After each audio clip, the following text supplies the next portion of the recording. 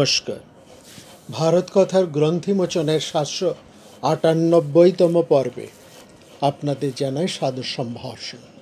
মহামতি অনন্তলালের পরম অনুগ্রহে আমরা শান্তি পর্বের অন্তর্গত রাজধর্ম বিষয়ক আলোচনা করে চলেছি।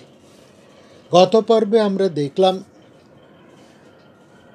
কীভাবে গ্রামের সৃষ্টি হলো, সেখান থেকে নগরের সৃষ্টি হলো এবং তারপরে মানুষের জীবনের মধ্যে কেমনভাবে বিশৃঙ্খলা ঘটলো। এই যে বিশৃঙ্খলা, এই বিশৃঙ্খলার মধ্যে অর্থাৎ সামাজিক শৃঙ্খলা নিয়ে আসার একটা প্রযত্ন সেখানে দেখা গেল। সমস্ত ঋষি, মুনি এবং সে কালের যত বিদ্বজ্জন তারা সমবেত হয়ে ব্রহ্মার কাছে তারা প্রার্থনা করলেন যে কীভাবে এই বিশৃঙ্খলা থেকে তারা মুক্তি পেতে পারে। মনুষ্য লোকে লক্ষ্য করবেন মনুষ্য লোকে যে মানুষটি প্রথম সামাজিক শৃঙ্খলা নিয়ে আসেন, তিনি কিন্তু মনু। যে মনুর নাম শুনলে আজকাল হয়তো অনেকেই একটু নাক সিটকন বা অন্য ধরনের কোনো ভাব প্রকাশ করেন। এই মনুই কিন্তু সামাজিক শৃঙ্খলা প্রতিষ্ঠা করেন এবং তার হাতেই মনুষ্য লোকের শৃঙ্খলার ভার তুলে দেওয়া হয়। কথা আমরা পাই ঋগ্বেদের মধ্যে এবং তার সম্বন্ধে যদিও তেমন করে রাজা শব্দটি ব্যবহার করা হয়নি কিন্তু মহাভারতে তাকে প্রথম মনুষ্য লোকের রাজা বলে অভিহিত করা হয়েছে। অবশ্য আরেকজনের কথাও আমরা পাবো পাবো পৃথুর কথা। এই পৃথু এবং মনু দুজনই হচ্ছেন মনুষ্য লোকের প্রথম রাজা। আমরা দেখছি ঋগ্বেদের মধ্যে ঘোরপুত্র কন্ন ঋষি তিনি মন্ত্র স্মরণ করছেন, হে অহব্য বহন অগ্নি, দেবতারা তোমাকে যজ্ঞস্থলে ধারণ করে রেখেছিলেন, মনুর হাতে তুলে দেবার জন্য। আরেকটা ঋক মন্ত্রের মধ্যে আমরা সেখানে দেখছি, মন্ত্রদ্রষ্টা ঋষিরা বিপন্ন হয়ে দেবতাদের কাছে প্রার্থনা করছেন, আমাদের পিতা মনু যে পথ তৈরি করে গেছেন, সে পথ থেকে আমাদের যেন কোনোভাবে ভ্রষ্ট করো না। আমাদের সেই পথ থেকে দূরে সরিয়ে নিয়ে যেও না। মহ না পথ পিত্রামান্নানবাদ দধি, দূরং নেষ্ট পরাবত। মানব সভ্যতার ক্ষেত্রে মনু প্রথম যে একটি শৃঙ্খলার পথ তৈরি করেছিলেন, সামাজিক শৃঙ্খলার, সেটি হচ্ছে মনুর রচিত প্রথম রাজধর্ম। মনুর আগেও প্রথম যে রাজধর্মটি রচিত হয়, এই রাজা সৃষ্টির মূলে যে রাজদার শাস্ত্র নির্দিষ্ট করে স্বয়ং ব্রহ্মা, যে রাজধর্ম শাস্ত্রটি রচনা করেছিলেন এবং সেই রাজধর্ম শাস্ত্রের রচনা করে তিনি মনুষ্যলোকে শৃঙ্খলার ভার তুলে দিয়েছিলেন এই মনুর হাতে। এই যে ব্রহ্মা রচিত রাজধর্ম শাস্ত্র সেটি এক বিশাল রাজধর্ম শাস্ত্র তিনি তখন ব্রহ্মা দেবতাদেরকে বলেছিলেন, তোমাদের ভয় দূর হোক, আমি এক এক লক্ষ অধ্যায় যুক্ত বিশাল একটি শাস্ত্র রচনা করেছেন তিনি। সেই শাস্ত্রের মধ্যে যে সমস্ত বিষয় আছে, যার কথা খুব পরিষ্কারভাবে, বিস্তৃতভাবে মহাভারতের মধ্যে বলা হয়েছে। আমরা আশ্চর্য হয়ে যাই। ব্রহ্মা রচিত সেই রাজশাস্ত্র গ্রন্থখানি, যার বিষয়ে, কি কি বিষয় আছে, সেই বিষয়ে অন্তর্গত বিষয়গুলো যদি আমরা সেই মহাভারতের মধ্যে যখন দেখছি, আমরা আশ্চর্য হয়ে দেখি সেই ভাবনাটা কত আধুনিক ভাবনা। অর্থাৎ আজ থেকে কত লক্ষ বছর আগে ব্রহ্মা রচিত সেই রাজশাস্ত্র ধর্ম, সেই রাজশাস্ত্র ধর্মের যে বিষয়, সেই বিষয় আজকের যুগেও, আজকের দিনেও অত্যন্ত প্রাসঙ্গিক। তার প্রাসঙ্গিকতা এতটুকু নষ্ট হয়নি, শুধু আমরা এ কথা বলতে পারি। আগ্রহী মাত্রই মহাভারতের মধ্যে সব বিষয়গুলো দেখে নিতে পারেন। আমরা সে বিষয়ের মধ্যে যাব না, কারণ সেটি হয়তো এইভাবে পরপর বলে যাওয়াটা একটু বোরিং লাগবে। আপনাদের যদি আগ্রহ থাকে, আপনারা তা দেখবেন।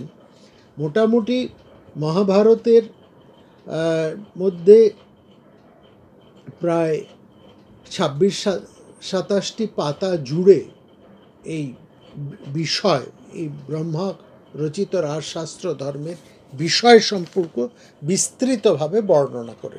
আমরা তার থেকে আলোচনা প্রসঙ্গে কিছু বিষয় আনব, উল্লেখ হয়তো করব, কিন্তু পরপর কি কি বিষয় আছে আমরা তার মধ্যে যাব না। এখানে আমরা বলছি যে মনু নামে একজন কিন্তু ছিলেন। না কথা আমরা আগেও বলেছি। পুরাণে দেখবেন আমরা অনেক মনুর নাম পাই। স্বয়ম্ভব মনু, প্রাচীতস মনু, রথন্তর মনু, সারোচিস মনু আরও কত মনু রয়েছে। এক একজনের ক্রিয়াকর্ম এক এক রকম। মহাভারত মহাভারত রাজধর্মের ব্যাখ্যাতা হিসেবে যে মনুর নাম আমরা পাই, তিনি হচ্ছেন প্রাচেতস মনু। আর মনু সংহিতা যে ধর্মশাস্ত্র, তিনি যে যে মনু লিখেছেন, তিনি হচ্ছেন স্বয়ম্ভুব মনু। এই আর এই যা মনু সমাজের যিনি প্রথম রাজা, যাকে আমরা এখন দেখব, ব্রহ্মা যাকে, তার নিজের রচিত এই রাজশাস্ত্র ধর্মটি তার হাতে তুলে দিয়ে বলেছেন যে, এই শাস্ত্র অনুসারে তুমি রাজ্য শাসন করো। তিনি হলেন বৈবস্বত মনু। তিনি সূর্যস্বরূপ বিবস্বানের পুত্র। এই বৈবস্বত মনুই আমাদের প্রথম রাজা এবং তার শাসনের পরিধি হচ্ছে বিষভুক্ত সেসব মানুষেরা। মানুর বৈবস্বত রাজতঃ তস্য মানুষ্যা বিষা। এই রাজা হিসাবে আরেকজনের নামও আমরা বেদ এবং ব্রাহ্মণে পাই, তার নাম পৃথু। পৃথুর বৈণ মনুষ্যানং প্রথমাভিষিজি। প্রথম রাজা হিসেবে এই যে দুজনের নাম আমরা পাচ্ছি তারা ঐশ্বরিকভাবে সৃষ্টি হয়েছিলেন নাকি অন্যভাবে? সে কথা আমরা হয়তো পরে আলোচনা করব। কিন্তু আমরা এটা দেখব যে মনু এবং পৃথু এই দুটি শব্দই হচ্ছে রাষ্ট্র ভাবনার একটা যাকে বলব ভিত্তিস্বরূপ খুব ভালো করে দেখুন, মনু শব্দ থেকে মানব, মানুষ, মনুষ্য সব শব্দগুলো মনু শব্দের এই পরিধির মধ্যে রয়েছে। আর বৈবস্বত মনু তো বটেই, সমস্ত মনুই আমাদের এই মনুষ্য সমাজের লোকযাত্রার হিতকল্পে তারা বিভিন্ন কাজকর্ম করে গিয়েছে। এক একজন মনুর সময় অতিক্রান্ত হলে আরেকজন মনু, এরা হচ্ছে পরপর। এক এক মনু শাসনকালের পরে আরেকজন মনু এসেছেন, এইভাবে আমরা অনেক মনু এখানে আমরা পাচ্ছি। পৃথক শব্দটি থেকে আমরা পাচ্ছি পৃথ্বী বা পৃথিবী। এই শব্দটি আমরা পাচ্ছি। তো এই যে রাজা বা রাজত্বের এই যে মনুর কথা হলো, তাকে যখন ব্রহ্মা তার নিজের এই এক লক্ষ সব শ্লোকে এই যে রাজশাস্ত্র তিনি তৈরি করে দিয়েছিলেন যে সে এই অনুসারে তুমি রাজ্য শাসন করো।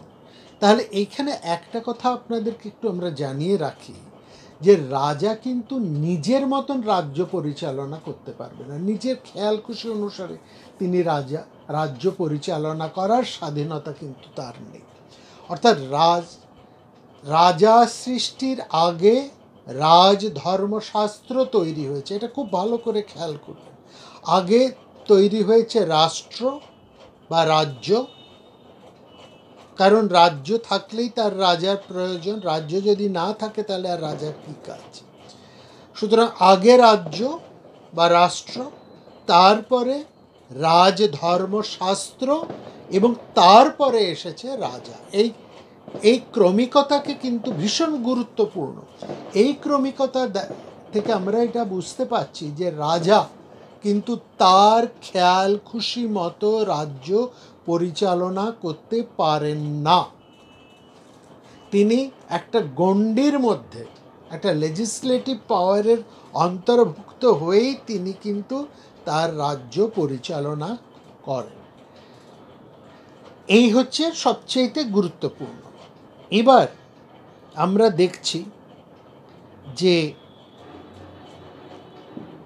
মনুকে যখন ব্রহ্মা নির্দেশ দিলেন যে তুমি যথাধর্ম এই পৃথিবী পালন করো।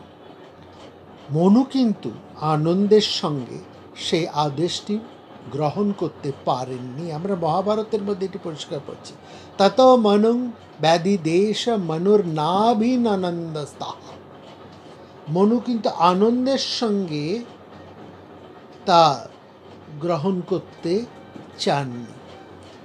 নাভিনানন্দ আনন্দেন না জাগ্রাহ। তিনি মনু বলছেন, দেখুন, এই রাজত্ব এত ঝামেলার ব্যাপার, এই রাজ্য পালন এবং এই ধর্ম অনুসারে রাজ্য পালন, এ, এত ঝামেলা নেওয়া আমার পক্ষে সম্ভব নয়। আর আমি কেনই বা শুধু শুধু এত ঝামেলা পোয়াতে যাব? কেন আমি এত দায় দায়িত্ব এত ঝামেলা, আমি কেন এসব বহন করতে যাব?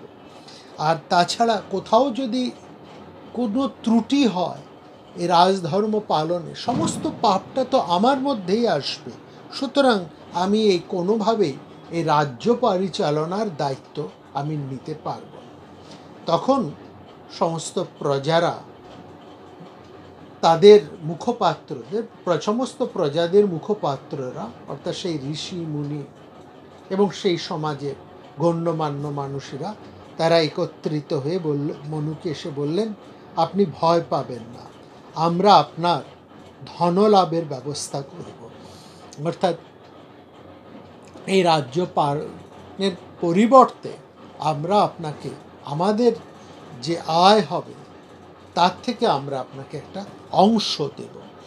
সে তখন বলছেন তমুব্রম প্রজা মাভৈ বিধাশ্যাম ধনং তব পশুনামদশ্চ হরিণদশ্চ তথৈব চ ধানস্য দশমং ভাগম দশাম কোষবর্ধনম কন্নং শুল্কে চারু রূপং বিবায়ুষ তদাদর্শ বলছেন, কি কি দেয়া, দেবেন?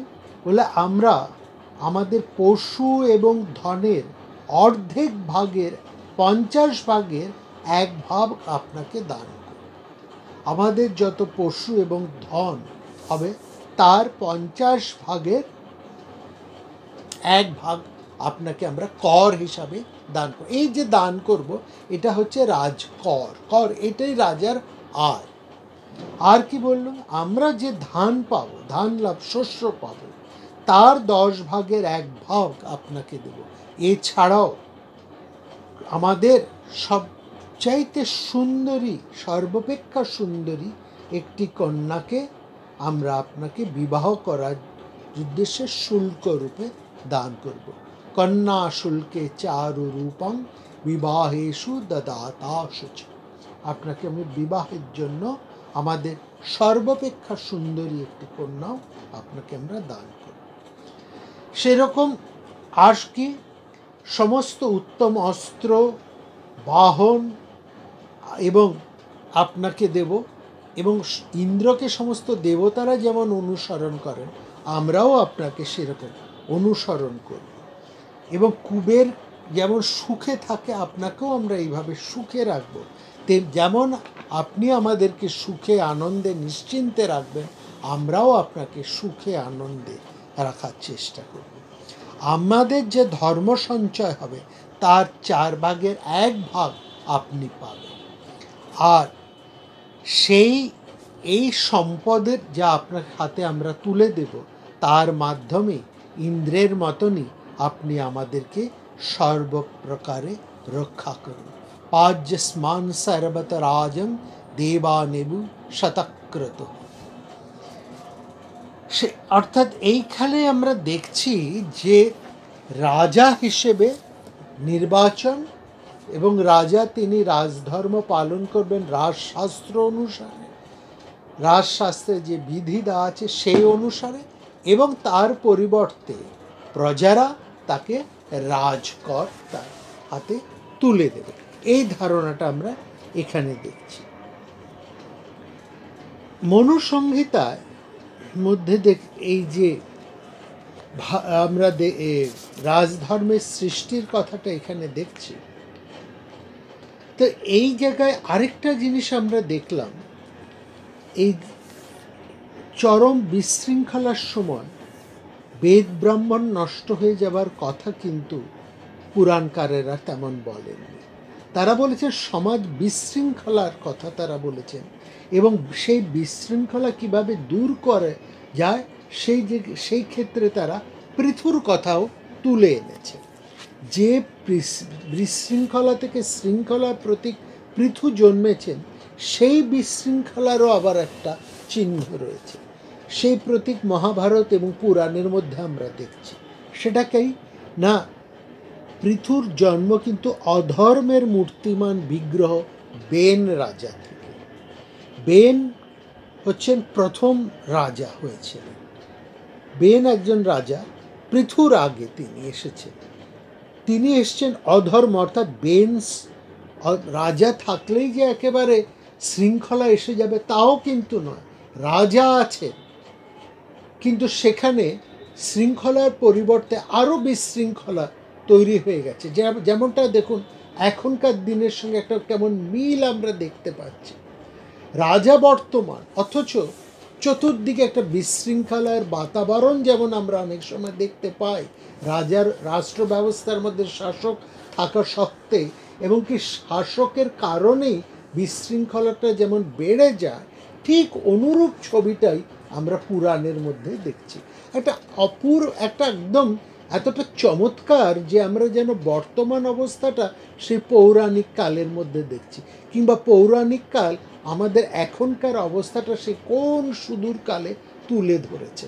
এটা খুব বোঝার মতো। আমরা অনেক সময় দেখি, আমাদের শাসকেরা রয়েছে তারা গণতন্ত্রের নির্বাচিত শাসক।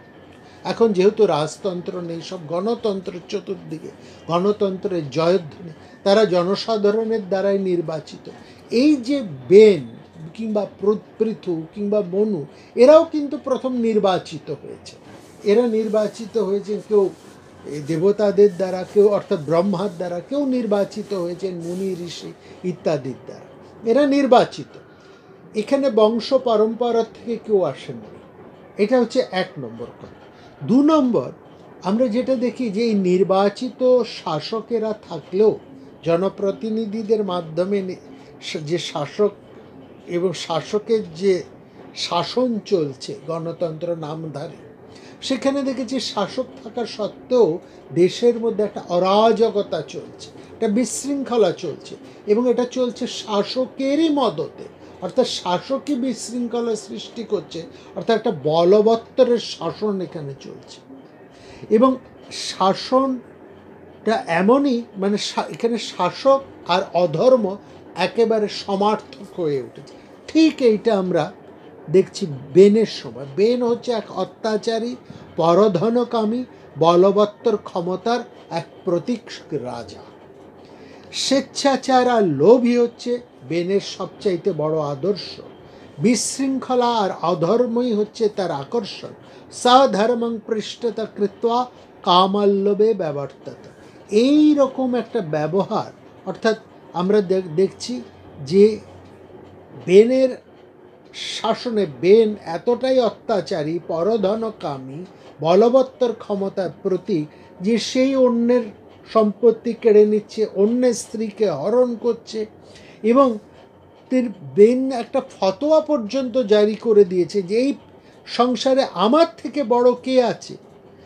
আর আমার থেকে বড় এমন কে আছে যে যাকে আরাধনা করা যায়, আমার থেকে আর বড় কে আছে?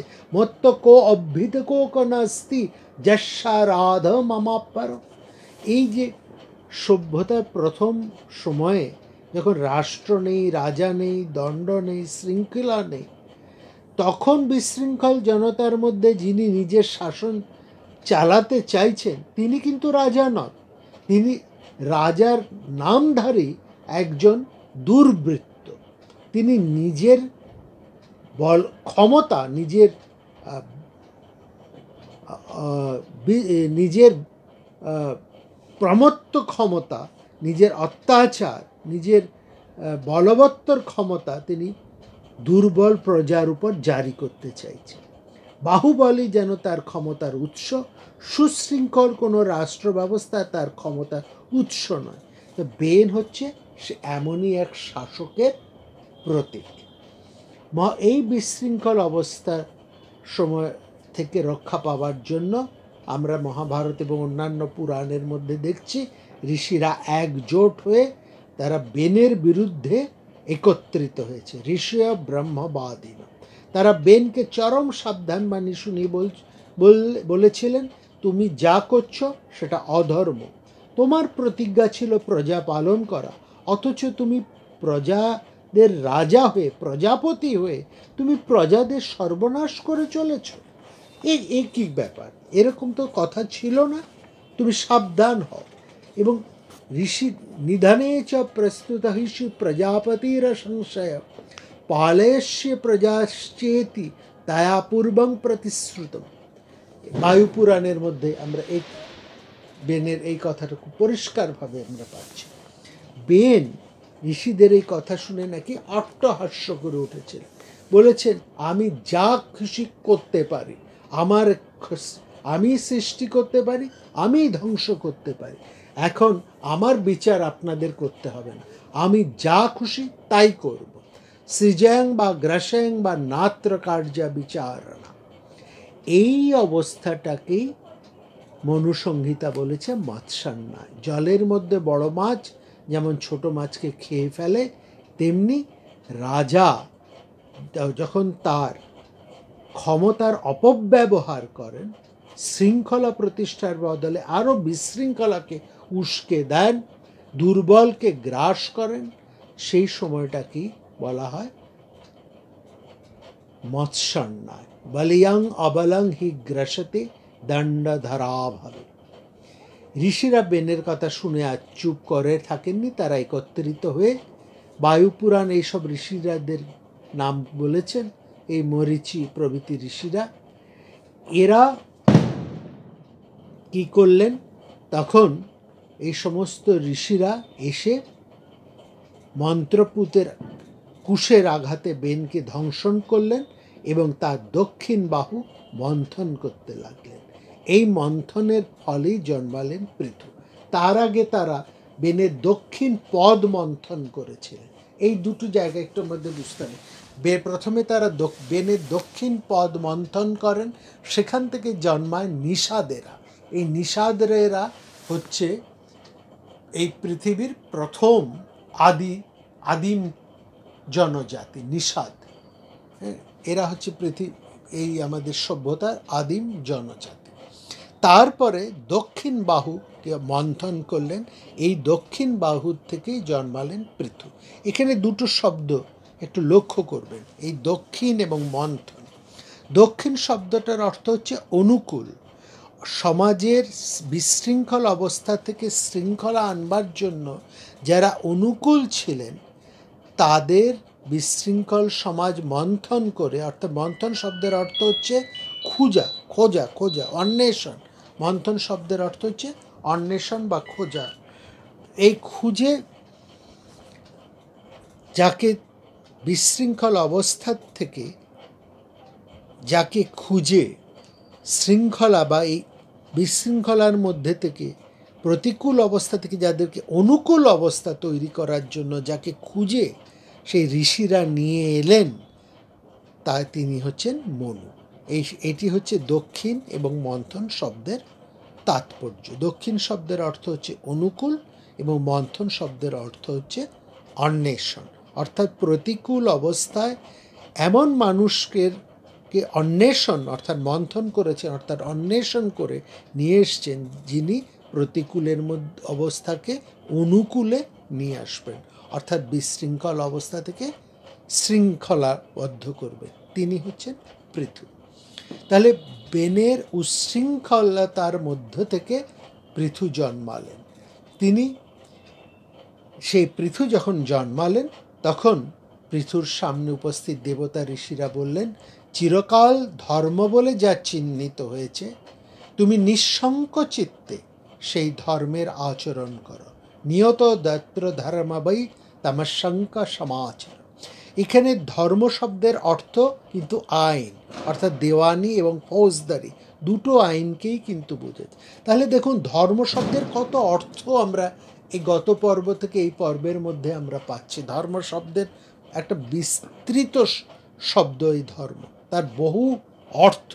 হ্যাঁ ধর্ম শব্দের এইখানে যে পৃথুর হাতে, পৃথুকে যে ধর্ম অনুসারে রাজ্য পালন করতে বলা হচ্ছে, এখানে সেই ধর্ম শব্দ, অর্থাৎ তুমি নিঃসঙ্ক চিত্তে সেই ধর্মের আচরণ করো। নিয়ত ইয়ত্র ধর্মবাই তামসঙ্ক সমাচার। এই ধর্ম বলতে এখানে কিন্তু আইন বোঝানো হচ্ছে। এই আইন হচ্ছে বর্তমানে দেওয়ানি বা ফৌজদারি দুটি। জুডিশিয়াল এর দুটি ভাগকেই এখানে কিন্তু বোঝানো হচ্ছে।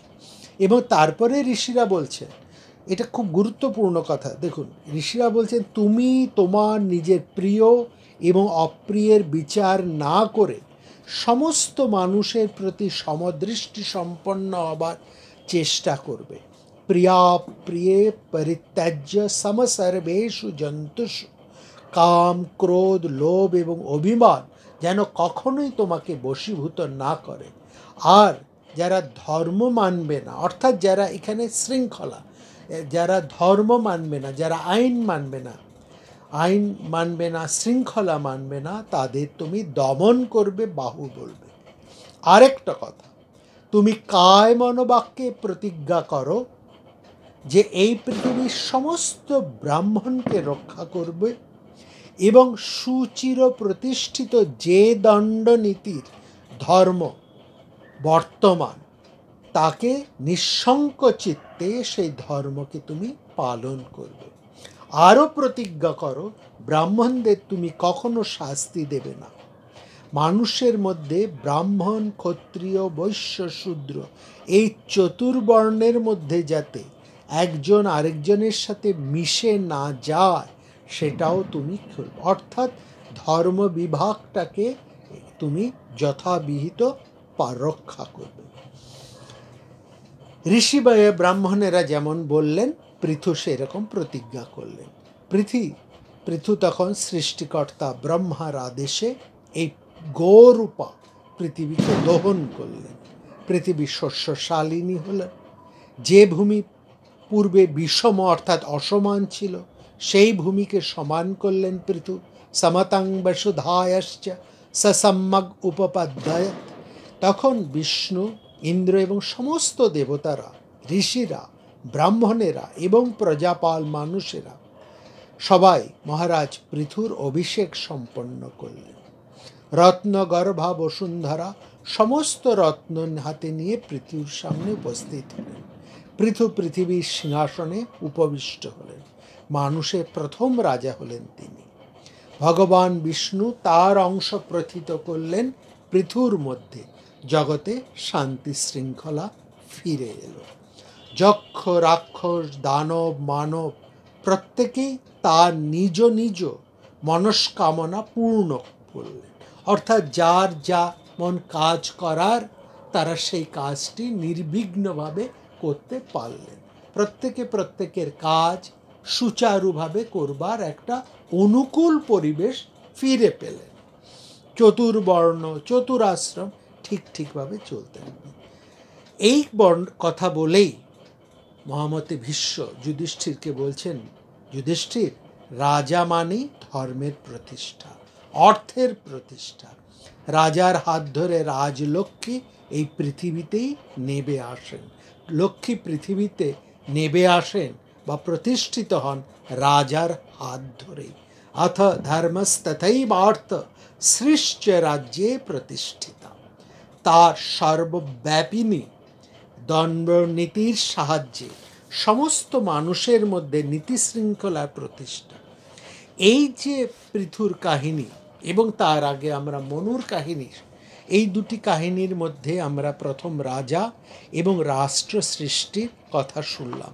এর মধ্যে অলৌকিকতা হয়তো কিছুটা আছে এবং কিছু, তার থেকেও বেশি একটা ঈশ্বরের আবেশ আছে। এবং এই যে ঈশ্বরীয় আবেশ রাজার মধ্যে আছে, এইটার থেকে এটা আমরা বুঝতে পারি যে রাজা এবং রাষ্ট্রের নির্মাণের পেছনে এক ঐশ্বরিকতার ভাবনা কাজ করছে। এটা বেদের মধ্যে ঐশ্বরিক ভাবনার চেয়েও বড় হয়ে উঠেছে একটা শতপ্রবৃত্ত ব্যক্তির নায়কোচিত গুণ।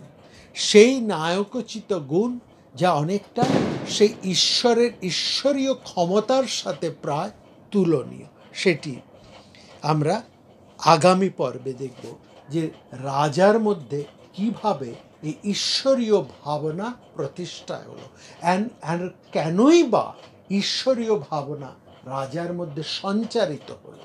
এই রাজাকে একেবারে ঈশ্বরের স্তরে কেন তুলে নিয়ে আসা হলো? রাজা মানেই ঈশ্বর।